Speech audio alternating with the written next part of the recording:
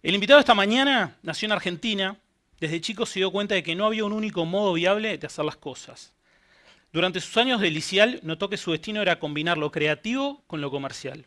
Hoy tiene 36 años y es un emprendedor sustentable y creyente de las empresas con propósito. Es lo que nosotros llamamos un emprendedor serial. Fundador de Ecomanía, Bioguía y Green Bondi. Les pido un fuerte aplauso para recibir a Lucas Campodónico.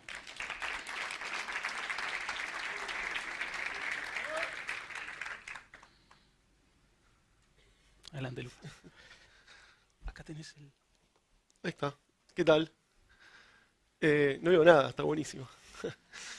Así que no, no sé qué onda. Ah, mira, ese soy yo. Ahí vamos. Les voy a decir tres cosas primero. Me llamo Lucas. Eh, estoy muy contento de estar acá. Después me voy con dos amigos a balizas. Eh, ¿no? Tiene que ver eso con vivir la vida, la calidad de vida por ahí. No sé. Y estoy muy cansado, dormí tres horas. ¿no? Vinimos en buquebús temprano, todo. Y eso es lo que tengo para contarles de mi parte, así rápido, pero quería que ustedes me cuenten de ustedes.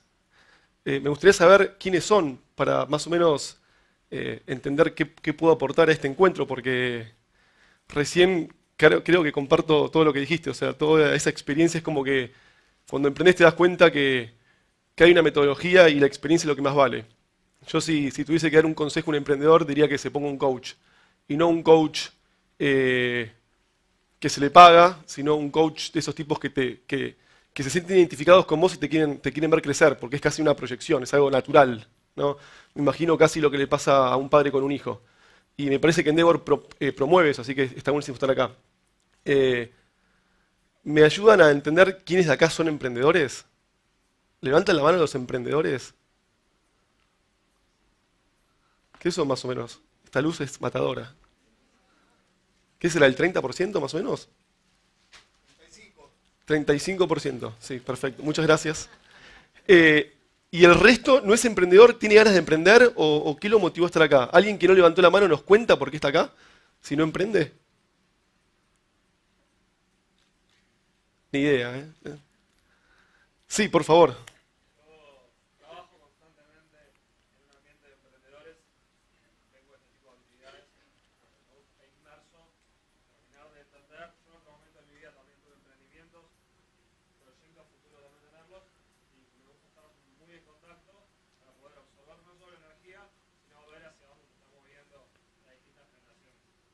Ahí va.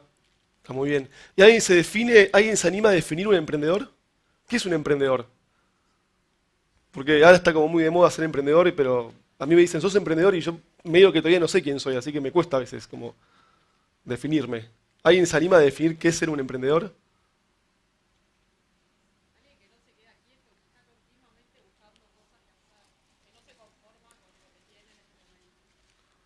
Sí, sí. Supongo que es para cada uno una cosa distinta, así que, ¿no? Yo, para mí, digamos, después de pensar cuando me decían emprendedor que era emprendedor, llegué a la conclusión de que para mí un emprendedor es un artista. Eh, y que principalmente somos todos artistas. Y que en algún punto de la historia alguien decidió que no éramos más artistas. Y para mí un artista es una persona que mezcla técnica con expresión. Por eso para mí emprender es simplemente el vehículo para conocerme y expresarme. Lo que pasa es que sé que para expresarme mejor esto técnica. Y si ustedes piensan en artistas que les gustan, un pintor, un músico, no sé, guitarrista, Satriani, es un tipo que toca lo que quiere con la guitarra, pero porque estudió mucha técnica. Y un pintor lo mismo. Uno ve un cuadro de Picasso que dibujaba como un chico con 80 años y ves cuadros de Picasso con 11 que dibujaba como un animal, o sea, con una técnica impecable. Entonces, cuando entendí eso para mí, que tenía mucha necesidad de expresarme, dijo, bueno, para expresarme mejor esto técnica. Necesito Endeavor, necesito en Argentina Inicia, necesito el necesito gente que tenga técnica que me ayude. Porque tenía un montón de ideas, pero que recién contabas la metodología, los procesos, la experiencia. Así que, con, un poco con esas premisas eh, empecé a darle forma a todas esas ideas que tenía. La charla eh, que voy a compartir con ustedes la hice el año pasado para un evento que se llama Red Innova. Se llama ¿Qué, cómo y para qué? ¿no? que tiene que ver un poco con, uno dice que somos lo que comemos, pero en realidad acá es qué hacemos, cómo lo hacemos y para qué lo hacemos. ¿sí? Y después me di cuenta en realidad que esta charla se tendría que llamar al revés. ¿Para qué, cómo y qué? Porque en realidad me di cuenta que yo no quería hacer nada. En realidad yo tenía muy claro el para qué, fui aprendiendo el cómo, Y el qué me da lo mismo ya. Por eso me, me dicen que soy un emprendedor serial, pero en realidad es porque tengo muy claro el para qué. Y el para qué tiene que ver con la sustentabilidad. ¿Todos más o menos son amigos del concepto de sustentabilidad? ¿Todos saben lo que está pasando en el mundo? ¿Sí? Lo, cuento rápido, así como un, disparador de lo que viene después. En el año 85 se rompieron los servicios ecosistémicos. Se llama, se rompió el break-even del servicio ecosistémico. Hasta el año 85 en la Tierra, la humanidad, nosotros, consumíamos los recursos que nos da la Tierra. Y después del año 85 empezamos a consumir más recursos que lo que la Tierra nos puede dar. Y eso obviamente genera un déficit. Y eso produce, por ejemplo, cambio climático, que en realidad es una palabra que aglutina un montón de cosas que están mal. Y entre ganas de, expresarme, empezar a entender eso como una premisa para mí importante de la vida, empecé a hacer cosas. Primero por casualidad, que arrancó todo con un botón. Este es el primer proyecto que arrancamos, les voy a contar primero la parte de qué hacemos. Eh, arrancó con un botón, esto a mí me gustaba el arte y yo en, la secundaria eh, tenía como dos grupos de amigos, un grupo más como comercial, ¿no? donde ya pensábamos qué hacer de nuestro futuro, y tenía un amigo muy hippie, eh, y yo era como el tipo raro de los dos grupos. ¿no? Era para, los amigos más empresarios era el hippie, y para los amigos más hippies era el empresario, y, creo que Greca fue algo que, me empezó a juntar. Esto es una foto de descartes de fábricas de botones. ¿no? Greca trabaja con descartes de fábricas de botones. Eh, ¿Alguien sabe cómo se hace un botón? ¿No? Bueno, es, rápido, es una. ¿Saben lo que es un coinor? Un coinor es una marca argentina, claramente, entonces. Yo pensé que era internacional. Eh, se pone una centrífuga, ¿no? Algo que gira rápido, y la resina poliéster, que las mujeres seguramente conocen, que es un plástico muy caro y muy bonito, eh, tiene la particularidad de que es líquido y pasa a estado sólido con un proceso de gelificación, de catalización. Entonces se tira ese líquido en esos, en esos tambores cilíndricos, justamente gira para que no se caiga el líquido, y en ese proceso de girado se va gelificando, y cuando está más o menos geloso se corta, se hace una alfombra y se pone como una especie de, tira así, ¿no? y al final de la tira hay una troqueladora, que va cortando esos discos. De, ese proceso quedan discos por un lado y los negativos de ese disco. Yo con mi madre hacíamos masitas de Navidad, ¿no? Me acuerdo que cortábamos, cortábamos y después la masa se ponía de vuelta y se cortaba de vuelta. En este caso eso no se puede cortar de vuelta, con lo cual ya cae un descarte enorme, que es un montón de un plástico muy caro. Y a su vez esos discos muchas veces salen fallados, porque hay cortantes, lo, que llaman troqueladores, que hay que afilarlos. Eh, en Argentina, y me imagino que casi toda Latinoamérica, tenemos un problema en la parte industrial, que con nuestros ciclos económicos son tan eh, confusos y complicados, poco estables, sobre todo en Argentina, el empresario argentino no es un tipo que invierte mucho en tecnología. Amortiza todo lo que puede, ¿no? porque no sabe lo que pasa de acá a cinco años. Entonces, cuanto más viejas son las, las, máquinas, de alguna manera, más descarte se genera. ¿No? Se genera descarte en esta primera instancia, se generan descartes en los discos, y finalmente esos discos pasan unos tornos automáticos italianos muy bonitos, de cuatro procesos, que se hacen los botones. ¿no? Agarra el disco, lo va girando y lo va haciendo distintos procesos, el bombero, los agujeros, y con esa máquina pasa lo mismo. También se generan descartes. En la Argentina, y me imagino que en Montevideo, por lo menos en Montevideo, o sea, en Buenos Aires y Montevideo debe ser más o menos similar, generamos un kilo de basura por día. ¿no? Y atrás de, ese basura, atrás de ese kilo de basura por día se calcula que se generan 70 kilos industriales, que se llama basura silenciosa, que es la basura entre privados. O sea, lo que es RSU, RCU, que es residuo sólido urbano, uno lo tira en la calle o lo pone y el Estado se ocupa, digamos. Pero las empresas hacen entre privados 70 kilos por cada kilo de residuo doméstico. Eh, con los años, este es un dato viejo de los 90, se fue bajando porque obviamente, entre que el mundo está mal y la materia prima es más cara, empezaron una oportunidad comercial de vender basura. O sea, eso disminuyó. ¿Qué hicimos con esto? Algo muy sencillo y muy hippie, ¿no? Esta es la parte hippie. Empezamos a hacer para algunos diseños, para otras artesanías, para mí un juego que era simplemente tener los botones que se tiraban, ¿no? Y hacer collares. ¿no? Una idea bastante estúpida o bastante obvia. Lo interesante de esta idea, y por ahí no hablo siempre, hablar también de cosas comerciales, no solo de sustentabilidad, es que este collar tiene un costo de más o menos 2 dólares, ¿no? No más de costo directo, y en Estados Unidos vale 100 dólares. ¿no?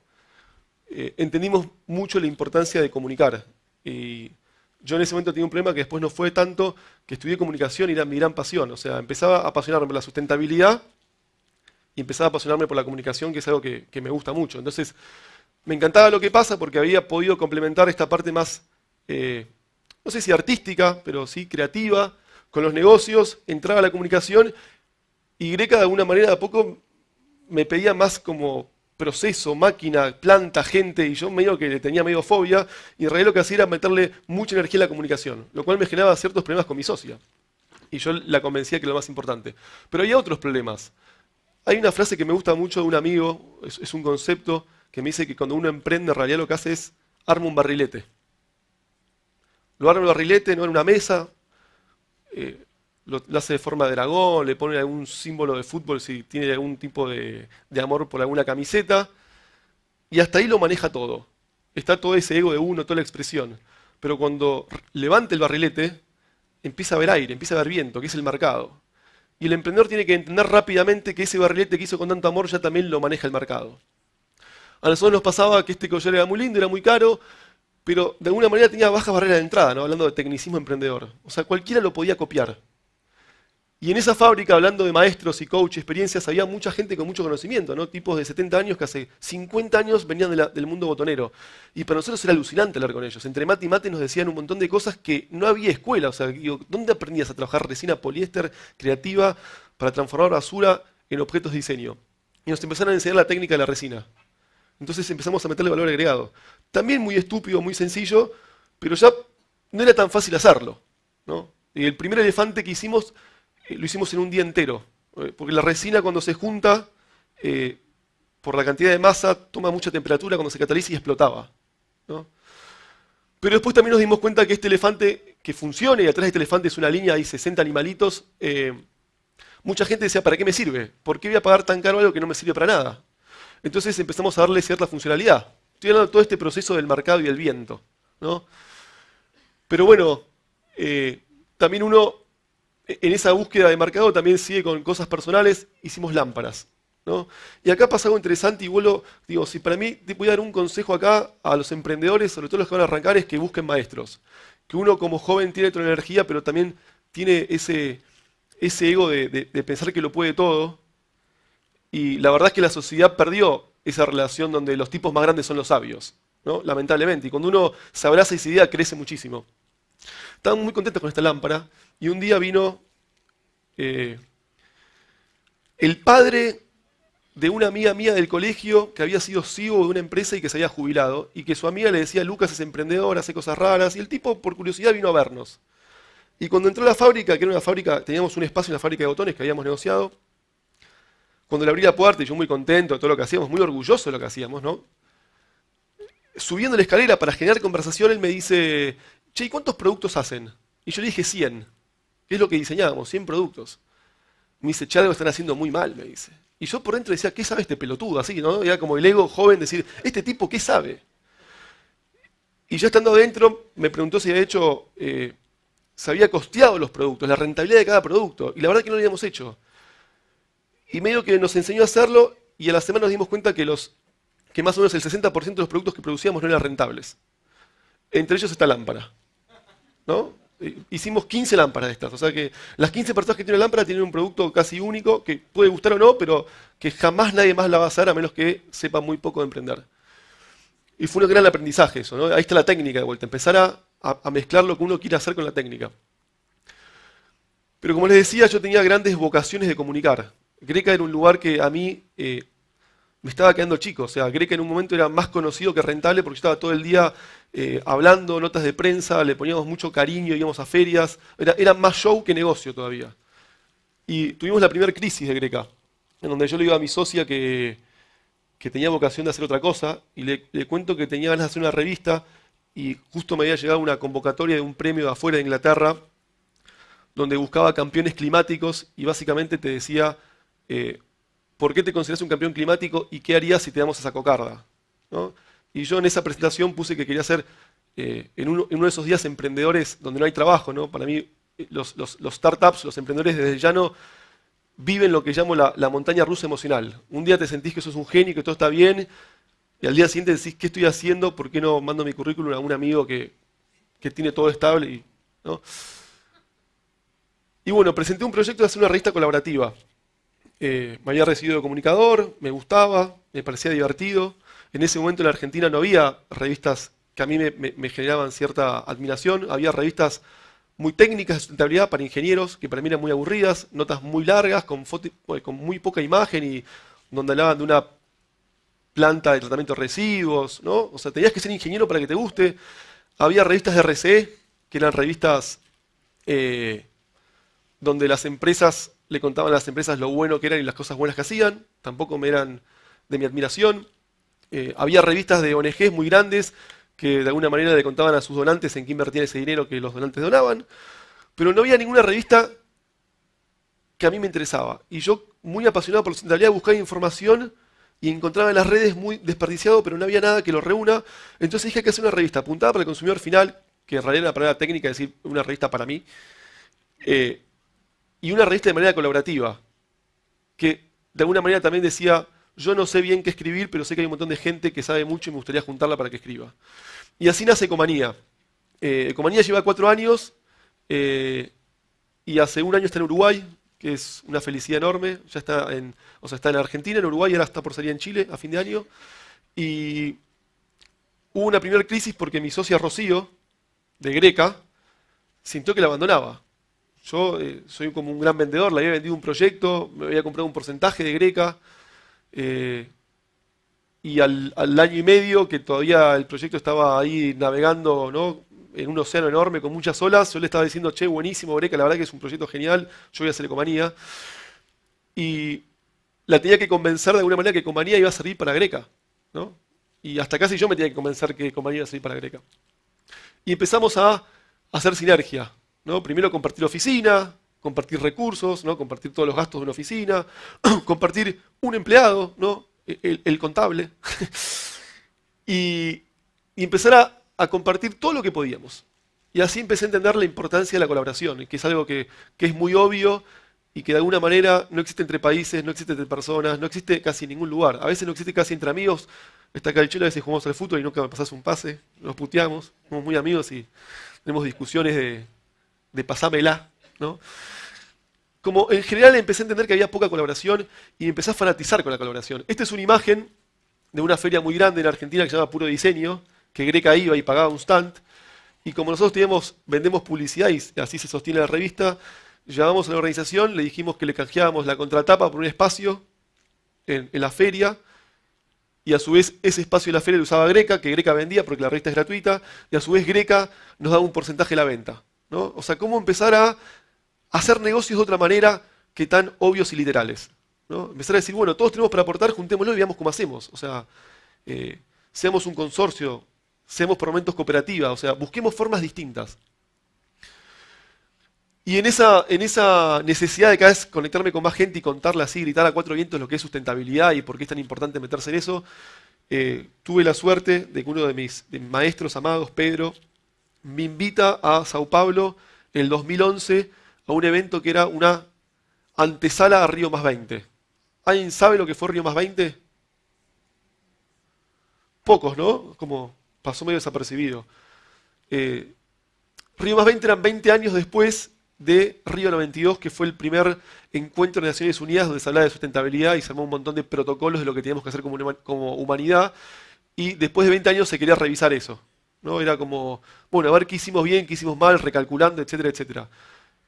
Era el encuentro más grande de desarrollo sostenible del planeta 191 países miembros asistían a Río de Janeiro en el año 2012, pero de alguna manera se sabía que los resultados no iban a ser buenos, ¿no? mucha política de por medio, y en, ese encuentro un año antes en Sao Paulo conozco una persona que es un gran amigo hoy, Ariel Kogan, y charlando, siendo más jóvenes, eh, dijimos, no puede ser que este evento sea tan grande y nadie sepa de qué se trata, y a su vez no va a pasar nada. Y medio joda, medio no, dijimos, tenemos que hacer algo, y yo en ese momento le dije, mira, yo soy activista, pero no soy el típico activista de pancartas, de protesta. No porque no comparta, sino porque no me sale. No, está en mi ser esa manera de expresarse. Me gusta, la, me gusta la fiesta, me gusta la propuesta, me gusta lo creativo. Y le propuse hacer una fiesta simultánea Sao Paulo, Buenos Aires. ¿no? Para gente joven. Y entendimos que jóvenes eran personas que se sentían jóvenes, no como una determinación de edad. O sea, gente viva y él me dice, tengo un amigo en Chile eh, que se va a sumar Y yo tenía una amiga acá, que no sé si está, que se llama Delfina Sagarzazú, y dije, yo tengo Delfina Sagarzazú en Montevideo que seguro que se copa. Entonces ya eran cuatro ciudades, ¿no? De algo así, de andar en bicicleta por Sao Paulo, era un evento, ya empezábamos a creer que podía ser algo divertido. Finalmente ese evento, este es el evento de Buenos Aires, ese día fueron 7.000 personas, pero lo más interesante es que ese evento se terminaron sumando 200 ciudades en el mundo. Fueron los seis meses más intensos de mi vida. Eh, yo no sé si alguien vio Los Simpsons acá. Hay un capítulo del vendedor de monorrieles. ¿Sí? ¿Alguien vio ese capítulo? ¿No? Bueno, es un tipo que va de ciudad en ciudad vendiendo monorrieles y yo era ese tipo más o menos porque tuve ese meses viajando por Latinoamérica, yendo de ciudad en ciudad, promoviendo Río Más Voz. Básicamente lo que decía Río Más Voz era, no esperes nada de Naciones Unidas, haz tu propia cumbre. O sea, para separar la basura, andar más en bici, comer mejor, consumir responsablemente, no hace falta que venga un protocolo de Naciones Unidas donde los países se pongan de acuerdo. Es como, es mucho más fácil. Y lo que pasó es que se empezó a eso, a, sumar gente que ni sabíamos cómo ni por qué. Pero, por ejemplo, Buenos Aires tiene mil personas o una aldea en Kenia. Ni sabemos por qué. Pero evidentemente había algo que nos unía que era querer estar mejor. Algo que, empieza a atravesarnos a todos y que yo no sé si soy millennial o no, pero tiene que ver con esto de este mundo como está pensado hoy no está funcionando. No está funcionando desde ningún punto de vista. Si pensamos en económico, las empresas que trabajo para algunas, les voy a contar haciendo qué, están muy preocupados porque no consiguen talentos, porque la gente joven no está más de dos años. Ahora, no sé cómo sacar la economía, pero en Argentina, si cobras 20 mil pesos por mes, perteneces a las 10, al 10% de las personas que más plata ganan en Argentina, y cuando empezás a descontar a un tipo joven con ciertas aspiraciones de clase media, alquiler, eh, si tiene un auto, mantenerlo, o sea, cosas que, bueno, que son cosas que todo el mundo quiere tener de alguna manera. No estoy hablando de grandes autos ni grandes casas, digo, o sea, lo básico, normal. Capacidad de ahorro cero. Entonces la zanahoria de la economía empieza a dejar de funcionar. Entonces él tiene más interés al presente, a si un amigo le dice vamos de viaje, deja todo y se va de viaje. ¿Para qué? Si voy a tener 45 años en ahorrar para tener un buen ambiente. Me voy. Empieza a ver lo colaborativo, el coworking, el cohousing, que en Europa ya funciona. O sea, no es que la gente quiera ir de a dos, es que es muy difícil pagar la renta. ¿no? Entonces, el contexto marca las generaciones. No es que la generación de ahora es más consciente. Las necesidades empiezan a ser otras. O sea, frente a un sistema que no funciona, es mucho más inteligente, en vez de deprimirse, decir, che, vamos por lo espiritual, hagamos yoga. ¿No? Si no me puedo comprar un auto, es mejor decir, che, ¿para qué quiero un auto? ¿No? Si fuese fácil comprarse un auto, nadie diría, hago yoga, todos tendríamos auto. Digo, porque lo que tenemos es un sentido espectacular de sobrevivencia. Si te deja tu novia, decís, al final no era la mujer de mi vida. ¿no? Uno digo, tiene esa maravilla de ir armando sistemas cerebrales para vivir mejor. Y por suerte, digo, si no sería un mundo muy triste. O sea, imagínense estos chicos que por ahí la pasan muy mal, siguen jugando de alguna manera. Es maravilloso. Es maravilloso entrar en una villa donde no tienen nada de lo que nosotros tenemos y ver gente sonriendo. Y a veces qué triste que nosotros nos sonriamos, teniendo todo. ¿Cómo puede ser?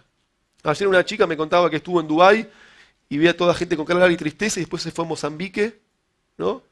Y decía que era pura felicidad, ¿no? Después de Río Más Voz, y en esta necesidad de comunicar más, y es el proyecto por ahí más conocido que hacemos, eh, nos juntamos a la Bioía, que la fundó un personaje, mi socio, hermano, amigo, nada, un, genio, Ernesto, un tipo, esos tipos de muchas vidas, eh, en una búsqueda espiritual enorme, sin ningún tipo de conocimiento emprendedor, por menos del técnico, pero sí una necesidad de ser él enorme, y fundó la Bioía que la bebida, eh, en realidad, ¿alguien conoce la bebida de acá? ¿Sí? En Uruguay quiero que la siguen 400.000 personas. ¿Sí? Esta página en realidad es una fanpage en Facebook y una página web. Eh, esto es viejo, dice 4 millones de seguidores, ahora tiene 11 millones en Facebook casi, y entran 15 millones de personas por mes a la página. En realidad no hace mucho. No, no tiene ningún tipo de know-how ni grandes descubrimientos. Lo que hace es contar cosas que a todos nos tocan que tienen que ver con esto, con lo sensible. Por eso pienso la importancia de entender que emprender es descubrir quién es uno y brindarlo al mundo. ¿no? Eh, venimos de un sistema educativo muy taxonómico, donde nos educan para funcionar un sistema y no nos educan para nosotros generar sistemas. Entonces, cuando hay un sistema obsoleto, está buenísimo que nosotros entendamos que desde nuestro ser individual podemos generar nuevos sistemas, porque si no, nos salimos de esa ecuación y vamos al abismo. La bioía hace cosas como estas, postea eagles, ¿no? que entiernecen, y mucha gente, digamos, no mucha, pero algunos de los 11 millones o algunos de los que no son 11 millones que la siguen dicen, pero ustedes hablan de sustentabilidad y ponen eagles, ¿qué tiene que ver? Y para nosotros es imposible entrar en un mundo sustentable si no te sensibilizás. Si de repente eh, no, te pasa nada cuando estás en un paisaje increíble, ¿cómo vas a tener una vida feliz? Digo, ¿qué, estás viviendo? O sea, te desconectaste absolutamente de lo que sos, que sos un animal también. ¿no? O por ejemplo, una imagen así de un paisaje. Ernesto, ahora ya no, pero vivía muy cerca de casa y cuando íbamos a la oficina teníamos medio un ritual que pasaba la mañana eh, a tomar unos mates antes de ir a la oficina. Y Facebook no hace mucho eh, diseñó un sistema donde se puede programar posteos, pero antes era manual. Con lo cual Ernesto, cuando arrancó la bioía, siempre estaba posteando y estaba acá dando una charla y decía, perdón, son las once y media, me voy a postear porque tenía que postear. 11 posteos por día, estaba todo el día posteando.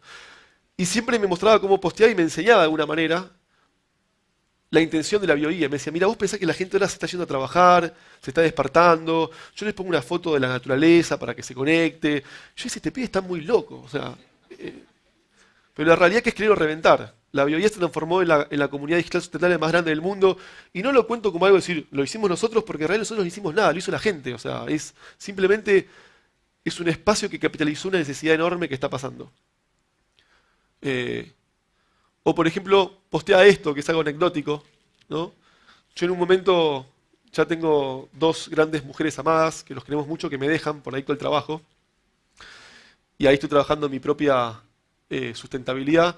Y como estaba muy triste, Ernesto me dedicó este posteo que me dijo, esto es, esto es una pareja de chinos que cumplieron 100 años de casados, tenían 120 años, cumplieron 100 años de casados. Me dijo, no maricones, ya vas a encontrar tu chinita. Mientras tanto, somos una familia de suricatas y te necesito bien adicto al trabajo. Las suricatas son una especie animal que si se separan de la familia la pasan muy mal. Está como investigado eso. Y después de todo esto, lo que pasó es que empezamos a llamar la atención de cómo gente sin conocimiento y sin estructura y sin financiamiento empezaba a generar cierto impacto mediático, ¿no? Ecomanía, Greca, Río Más Voz, la Bioguía, y nos empiezan a llamar empresas para que asesoremos. ¿no? La primera empresa que nos llama es Villavicencio en Argentina, que se llama SADUS. Aguas Danón. Eh, me llaman a mí para una reunión en Microcentro, un, edificio grande, piso 13. Eh, yo me he visto mal, me vestía mucho peor ahí. Eh, y de repente entro, hay tres tipos con traje y corbata y me preguntan si era asesor de sustentabilidad. Y yo, que era mi señor acto reflejo, miré al costado, vi que una aviana y dije, sí, claro, obvio, nací para eso, acá estoy, nos encontramos. Y fue también algo que me pasó siempre cuando emprendí, que, trato de, transmitirlo cuando me llaman para, como para inspirar a emprendedores, es que, y que también lo comentabas vos, esto de la necesidad de tomar riesgo. Para mí un emprendedor es un irresponsable responsable. Siempre la experiencia de que creces solo siendo un irresponsable, que es salir la zona de confort. En Greca mismo, una vez, a través de puro diseño, nosotros hacíamos un elefante por día, después pusimos a hacer más elefantes y después podíamos hacer supongamos 30 elefantes por mes más otros productos.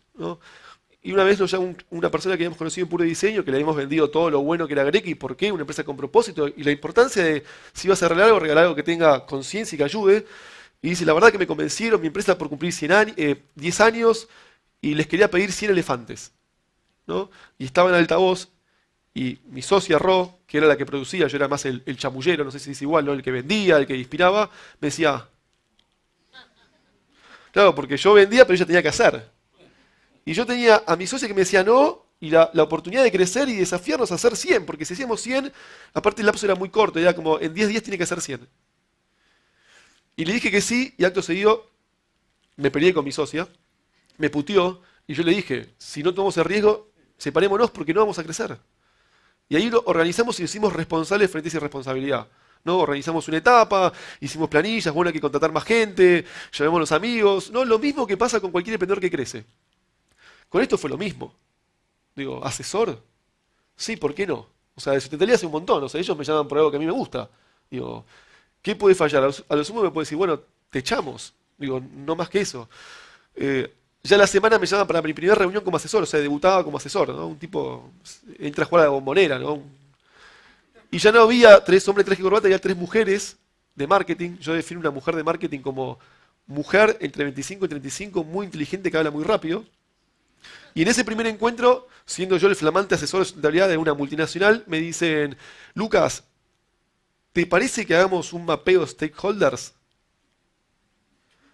¿Saben lo que es un stakeholder? ¿Sí? Yo no lo sabía. Yo no hablo inglés casi. Imagínense para mí, siendo asesor de esa empresa, me pregunten, lo primero que me pregunten, no, tengo, no sé de lo que me están hablando. Esto ya se lo conté a ellos, ya está, ya son cinco años, los queremos mucho. Por suerte sigo siendo asesor de Danone. Eh, y me dice el Sota así, y dije, es complejo, me parece que demanda una evaluación. ¿Sí?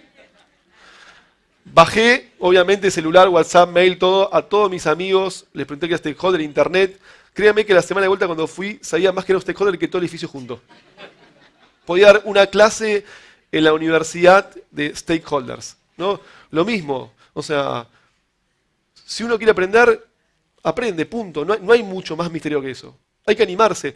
Frase hecha y así, zona de confort, salida zona de confort, salida zona de confort, zona de confort, zona de confort. Con el tiempo también aprendí, que tiene que ver con experiencia, que para mí un emprendedor en los primeros años tiene que ser, tiene que tener el ego muy alto, ¿no? Porque todo es contramano. Entonces se tiene que crear mil, ¿no? Hasta que se junta con el tipo con experiencia donde tenés que ser muy humilde. Sos ocho horas, te crees mil, y después viene un tipo que tiene 30 años de experiencia y te dice, sos un estúpido, sos un estúpido, sos un estúpido, y le decís, sí, sí, sí, tenés razón. Si vos siempre te crees mil, fuiste, porque te privaste de aprender. O sea, tenés que creerte mil y después saber que sos un estúpido. Si podés jugar con esas dos cosas, está muy bien. Si no te crees mil, es muy difícil el día a día de un emprendedor. ¿No? Porque esa montaña rusa emocional pasa a ser solo para abajo, no hay, nunca para arriba. ¿no? Green Bondi que hace, hace festivales, produce, o sea, tiene una, etapa de producción, que esto también vino por expander, porque al principio solo éramos asesores, entonces a Lucila, con quien confundí con María, le dije, acá hay una oportunidad, armemos una consultora. O sea, Green Bondi nace como una demanda del mercado, no como una necesidad o un sueño nuestro. Eh, empezamos a producir, a generar contenidos, hicimos esta campaña que acá también no sé si se hizo algo parecido, eh, se, hizo en, México y nos dimos cuenta que somos unos estúpidos, les cobramos muy poco. ¿Cómo puede ser que nuestra idea se expanda a cinco países? Le dieron premios, empezamos a cobrar más, empezamos a entender cómo se cobraba. Eh, trajimos festivales, Argentina, de afuera, Festival Internacional de Innovación Social. Y esto es imagen vieja, esto, esto ya hace un año y medio, hay varios clientes más, pero empezaron a caer grandes monstruos de empresas a pedir nuestro conocimiento que nosotros pensábamos que valía nada. O sea, aprendizaje, nuestro conocimiento vale. Hay que saber cuál es primero y cómo venderlo. Pero siempre pongo esta imagen para emprendedores porque hoy que hay más marcas y nos va bien y ya somos 30 personas trabajando juntas, etc., arrancó esto así, con Greca. Esto no fue hace mucho, fue hace 7 años. ¿no? Eh, en ese momento yo no, no, me imaginé que me iban a llamar a Endeavor para dar charlas. Tengo la suerte que a veces viajo porque me invitan a dar charlas. La verdad es que las cosas pasan. Hay algo en emprendedorismo que son las famosas 4P, ¿no? Eh, producto, precio, promoción y plaza, pero para mí hay dos más importantes, dos P más, que son pasión y paciencia. ¿no?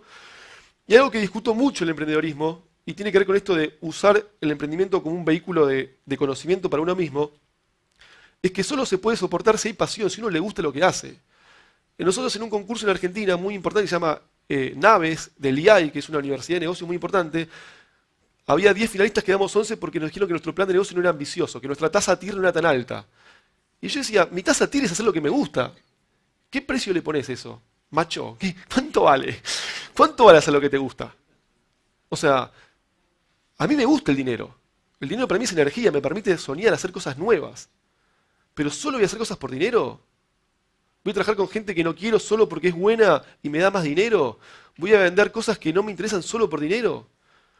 Si trabajas 8, o los emprendedores al principio, ¿no? El full time, full life, que laburás 10, 12 horas, ¿vas a dejar 12 horas de tu vida solo por dinero? Es como muy pelotudo, ¿no? Digo, un emprendedor que hace eso no debería para mí llamarse emprendedor, debería llamarse pelotudo.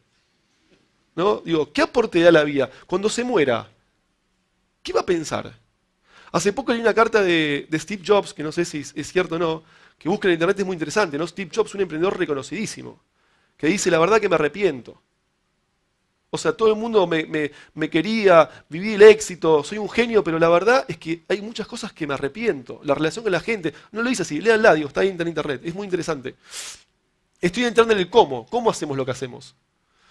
Esto es una certificación con Rocío, esta es mi, mi socia Rocío, mi socia, ex semisocia, porque en realidad ahora hace dos años, un año le, le vendí mi parte productiva, me quedé con algo medio raro.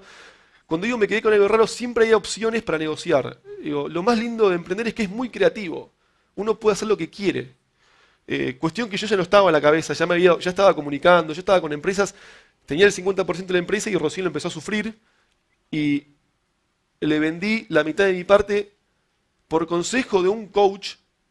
Yo tengo dos, uno espiritual y uno de management, ¿no? esta mezcla linda. Y me dijo, che, Lucas, cuando vos cruzás un río con una canoa y llegás a la otra orilla, ¿qué haces con la canoa? Es bastante obvio qué haces con la canoa. La dejás y seguís caminando. A mí me gustó tanto cruzar el río con Greca que cuando llegué a la otra orilla me se- seguía con la canoa arriba. Entonces iba muy lento, ¿no? Me enseñó a aprender a soltar. Esto, de, esto del barrilete y uno, o sea, si vos cambiaste, digo, yo no soy, yo tengo 36, no soy el mismo que tengo que a los 26, que a los 16, que a los 6, digo, uno va cambiando. Entonces, no entender el cambio, no entender que uno mira las cosas distintas, esa, esa falencia de no soltar, todo en la vida, hay que aprender a soltar para agarrar cosas nuevas. Bueno, fue un gran aprendizaje, solté Greca. Se lo di a la persona que más quiere Greca, que lo sigue llevando para adelante. Y como no podía soltarlo del todo, me dejé como una especie de cláusula gatillo ahí por si pasaba algo. O sea, me quedé aquí como proyecto. Y eso hizo que Rocío y yo, en vez de pelearnos o separarnos, sigamos juntos en el mismo edificio y sigamos colaborando juntos. ¿no?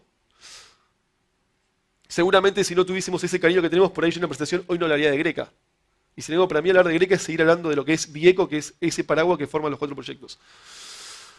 Greca también tuvo un aprendizaje que era muy ambiental pero poco social. Entendemos que la sustentabilidad era el equilibrio entre lo ambiental, lo social y lo económico.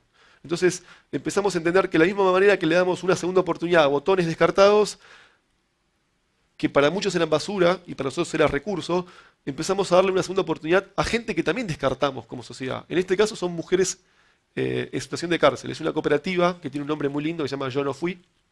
Eh, que nada, que, hacen parte del fasón de Greca ellas y después empezamos a trabajar con una, red que se llama Red Activos, que la fundó uruguaya, Bea Pelizari, tiene una charla TED, es una genia que trabaja con discapacidad. Entonces empezamos a darle, eh, o que nuestros stakeholders y proveedores sean, eh, nada, personas que les cuesta más conseguir trabajo. Finalmente entramos en el para qué, ¿no? Eh, y siempre pregunto lo mismo, ¿esta imagen para ustedes es una imagen ambiental, social o económica? Las tres, ¿no? Está bastante claro. Esto es lo que, esto somos nosotros como sociedad. Esto es lo que estamos haciendo. todo- ese es el kilo o los 70 kilos de basura por día que les decía al principio. Está todo acá. Esto se llama SEAMSE. Es el lugar donde va, diría, el 90% de la basura de los porteños en Buenos Aires. Queda a 20 minutos de mi casa. Hace poco el SEAMSE puso, tu- eh, lo rejó todo. Porque había muchas muertes de estos chicos. Porque estos chicos cuando se agachan así, pasa una caterpillar a remover la basura, los mataba. Y eran muertes anónimas. ¿no? Y uno pregunta, ¿qué hace un chico ahí? Hace lo que decidimos nosotros. Si para nosotros es basura ese chico. Si decidís que un chico es basura, va a estar en el basurero, obvio. ¿No? Es bastante claro. Y cuando empezás a darte cuenta de que tu consumo depende de que ese chico esté o no esté, empezás a entender por qué la sustentabilidad. Y empezás a entender dos cosas. La primera, que es una gran necesidad. Y como es tan necesidad, como es tan grande la necesidad, es una gran oportunidad. Yo ya dejé de pelearme con el tipo que entra en la sustentabilidad solo por la oportunidad. Que entren por donde sea, pero que entren. Porque el mundo, si no entramos en sustentabilidad, se va a la bosta en serio. O sea, no, no es, y no es nuestros hijos, nuestros nietos, no, nosotros ya la estamos pasando mal. No digo, el cambio climático ya es algo que, no sé cómo lo dije en Montevideo, eh, en Buenos Aires hace 30 grados en, en junio, menos 12 en noviembre, aparecen lagartijas, viste, ya lluvia tropical, o sea, y hay un montón de estadísticas que puede ver eh, temas de, de gente que se tiene que mudar de ciudad por cambio climático en el mundo. Ni hablar de estadísticas que hay mil, mil cien millones de personas que no tienen acceso al agua, gente que vive al lado de la red de agua potable y no tiene acceso al agua, no sé cuántas personas viven solo con menos dólares por día, o sea, realmente eh, es muy difícil como empresario pensar en una empresa exitosa en una sociedad fracasada. O sea, sería un éxito bastante trucho de alguna manera. Y hay un concepto muy interesante que es que en realidad la palabra company significa compartir el pan. O sea, en algún momento en la historia, el empresario se corrió de su rol social. Se corrió, dijo, ah, esto es todo para mí. O sea, en algún momento pasó. Y me parece que eh, si uno hace lo que le gusta, ese rol social, empieza a ser casi obvio. Porque también es difícil hacer lo que te gusta sin compartirlo con el resto. Y esto no tiene nada que ver con qué buen pibe. Es como bastante inteligente, ¿no? Digo, está bastante comprobado hasta científicamente que debes de recibir. Si vos sos mejor tipo, todo vuelve. Si vos sos un empresario, hablaban de la relación con, los proveedores y los clientes, todo vuelve. Lo dijo esta señora, la clave es estar cerca de la gente que uno está. ¿no? Eso sucede porque somos un bicho social, o sea, es nuestra naturaleza. Esta es una imagen donde me quiero ir a vivir en un par de años estoy ya cerrando la, charla. Eh, es un lugar en Córdoba y también entendí ya con, 36 que yo promuevo sustentabilidad, pero la primera sustentabilidad que tengo que promover es la interna y que solo voy a ser coherente si yo también eh, dejo de trabajar lo que trabajé, ahora trabajo un poco menos, estoy como un poco más tranquilo, y empiezo a trabajar mi, espiritualidad, mi sustentabilidad. O sea, no, tiene ningún sentido que yo esté promoviendo sustentabilidad acá, allá, haciendo páginas, 10 millones de personas, si vivo estresado, si vivo desconectado. Eh, entonces, tengo esa meta y para mí también es muy importante como emprendedor visualizar. Hay un, hay un cuento que me gusta mucho de las enseñanzas de Don Juan, no sé si alguien las leyó. Habla del cazador casado. Dice que aplica a los emprendedores empresarios. Dice que un buen cazador no es el cazador, el cazador que persigue la presa, ¿no? que es lo que hace un tipo cuando no tiene experiencia, sino el tipo que investiga la presa, entiende sus hábitos y la espera. Cuando uno emprende y empieza a ganar dinero, cada vez es más fácil ganar dinero. Porque cuando uno entiende la lógica, ya tiene capital social, ya tiene líneas de crédito, ya no hay tanta, tanto mérito en ganar dinero. ¿no? Si uno tiene el capital y la experiencia, pasa a ser algo repetitivo. Lo que pasa es que siento que muchas veces, como uno no hizo nada más que eso, esa termina siendo su zona de confort y pasa a ser una máquina de ganar dinero. Entonces Cortázar dice que cuando el cazador se empacha de una manera porque descubrió cómo cazar tan fácil, pasa a ser un cazador casado. Y me parece que lo que debería ser un empresario exitoso en serio es poder nivelar. Y cuando tiene los recursos suficientes para vivir bien como quería, tiene que simplemente entregar todo el resto sobre todo por un, acto casi egoísta. Eh, esto es Córdoba, me quiero vivir, chismoseo en la empresa que, cuando me vaya tengo muchas ganas de como, dar acciones a la gente que viene acompañando este proceso, porque son realmente parte de este proceso, y no lo hago de copado, sino porque tengo muchas ganas de tener una casita de huéspedes que vengan a visitar. No, quiero irme, si el día de mañana eh, vendo, a vivir solo en Córdoba. ¿no?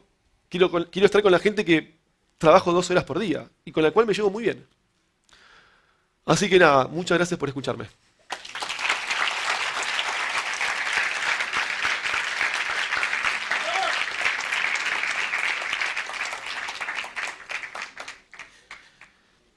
Lucas, tenemos una pregunta porque estamos muy cortitos de tiempo.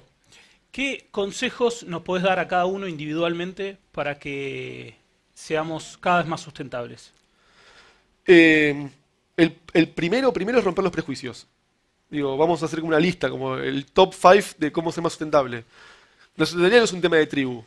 No hay que fumar marihuana, vivir en una casa de adobe y hacer música para ser sustentable. Puede ser sustentable el colectivero, el político, el abogado, o sea, es algo transversal. En esa transversalidad creo que el consumo es clave, porque uno vota una vez cada cuatro años, pero vota empresas todos los días. Y tenemos un poder como consumidores enorme, ¿no? Si uno empieza a consumir empresas que sentimos que hacen bien las cosas, la cosa empieza a cambiar. O sea, el, rol de las empresas es enorme, pero por la demanda del consumidor. Eh, lo tercero es que para saber qué empresa consumir y en general saber su tendría hay que informarse. Nosotros en Ecomanía decimos que informarse es el primer paso para el cambio. O sea, yo no puedo cambiar nada si no tengo información.